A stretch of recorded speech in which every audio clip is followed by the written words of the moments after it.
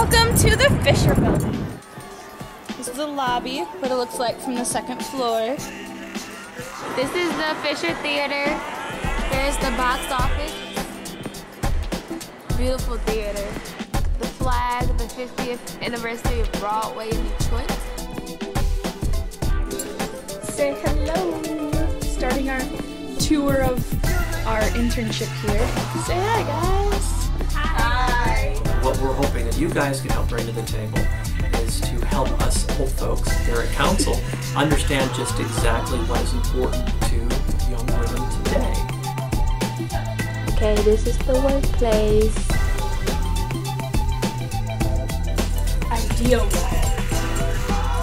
It's definitely a good thing to have ideas when you're trying to do stuff. This is awesome. Using camera. I'm Imara. So this is the Juliette Low Cafe where we work at. Know, we do all our journals and goals and stuff in here, and we plan on the little board over there.